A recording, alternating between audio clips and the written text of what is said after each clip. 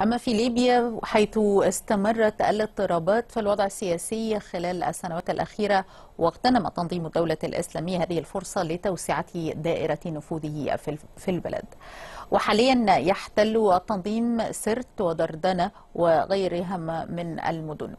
ووفقا لتقارير وكالة أنباء رويترز فإن الجيش الليبي قد دخل المنطقة القريبة من سرت مؤخرا وحاول محاصرة مسلحي التنظيم.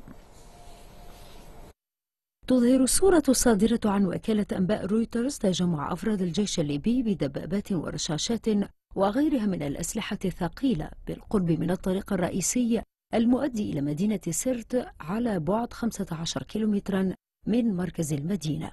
وقال متحدث باسم الجيش الليبي إنهم خططوا لمحاصرة مدينة سرت وطلبوا إجلاء المدنيين إلى مكان آمن مضيفا أنهم لم ينفذوا عمليات عسكرية حفاظا على سلامة المدنيين المحليين. هذا ومنذ فبراير الماضي احتل التنظيم المتطرف مدينة سرت تدريجيا وحاول توسيع دائرة نفوذه إلى المناطق المحيطة بها باستمرار.